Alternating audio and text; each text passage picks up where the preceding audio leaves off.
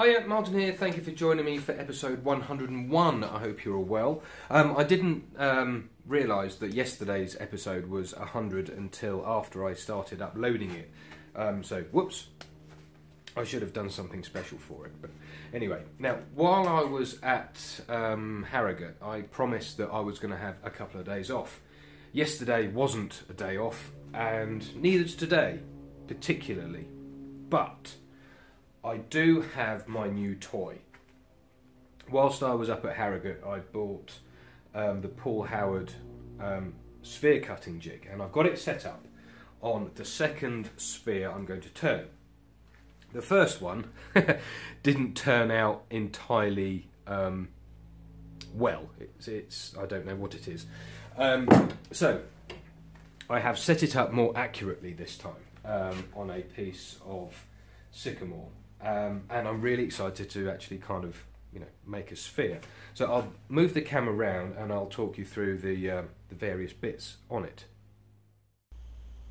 Right, so here's here's the jig. Um, it's mounted in between um, the the, uh, the the bed bars with a um, a disc that I turned to make sure that it fits absolutely centrally. There's a really sturdy distancing bar and nicely marked um, distance markers for however big the sphere I want to turn will be. And it's got some risers uh, here which bring it up to absolutely bang on centre of the lathe and um, a quill that moves in and out with um, a locking nut uh, as well and the whole oh, let's just undo that and the whole lot swings really easily over the top of these uh, of this uh, nylon washer down there and that's uh, that's it. It comes complete with all the tools that you need to um, um, to operate it, as well as some really comprehensive instructions, which I think I must have partially ignored with um, the first the first attempt. But hey ho, it is just the first attempt after all.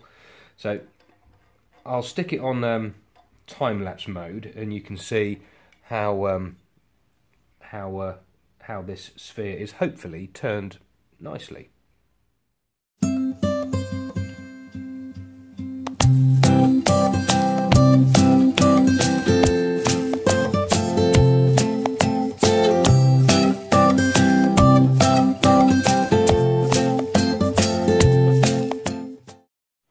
Sorry, the phone battery died um, just after the first part of the turning there, so I'm really sorry you missed that, but at least you did get to see a little bit um, of, uh, of the sphere jig in action.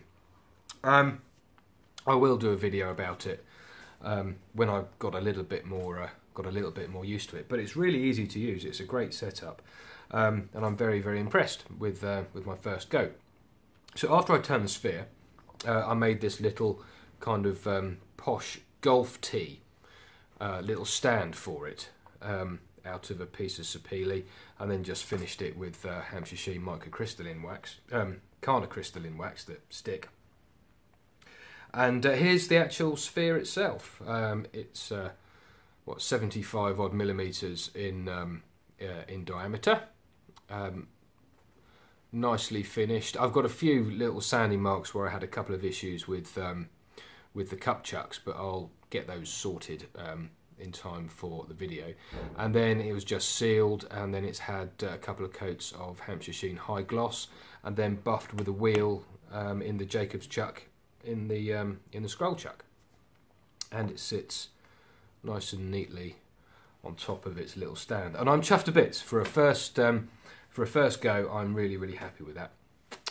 Right, it's uh, what time is it? It's quarter to four, and I think it's time for me to uh, to go home as I've got emails and stuff to uh, to check. So thank you very much indeed for watching. Um, I'm going to be getting on with a project video very soon, um, but I hope you enjoyed at least this little interim project in the meantime. Thanks very much for watching, and I'll see you again soon. Bye for now.